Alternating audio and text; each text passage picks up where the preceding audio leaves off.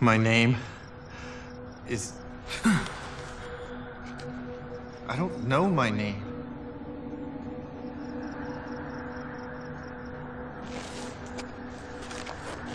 Your name is David Joyner. You live downtown at the following address. You'll find everything you need there. Good luck. 526 Hope Street, Apartment B.